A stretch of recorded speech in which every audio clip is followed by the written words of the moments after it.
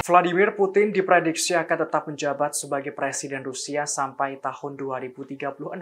Hal ini membuat perang di Ukraina tampaknya belum akan berhenti dalam waktu beberapa tahun mendatang. Dikutip dari tribunnews.com pada Selasa 8 Agustus, sistem kepemimpinan Rusia yang diprediksi belum akan berganti bahkan hingga tahun 2036 mendatang. Seperti diketahui perang di Ukraina yang dipicu invasi Rusia disebut akan berakhir jika ada perubahan fundamental pada sikap kedua negara atau pergantian kepemimpinan baik di Rusia atau di Ukraina. Juru bicara Kremlin Dmitry Peskov pada Minggu 6 Agustus malam menyiratkan pemilihan Presiden Rusia tahun depan hanya formalitas. Ia menjelaskan Putin secara jelas akan memenangkan pemilihan tersebut. Vladimir Putin diperkirakan segera mengumumkan pencalonannya kembali untuk masa jabatan presiden ke-6 secara keseluruhan.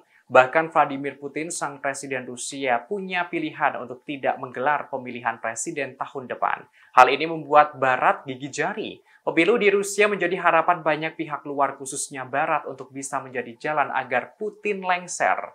Sebagai informasi, Putin sudah menjadi presiden Rusia sejak tahun 2012, tepatnya tanggal 7 Mei.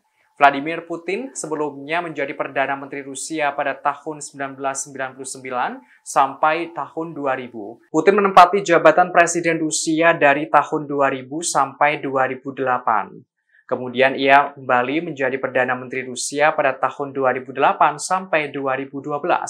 Perubahan konstitusi sebelum perang di Ukraina memungkinkan dia untuk tetap menjadi presiden hingga tahun 2036.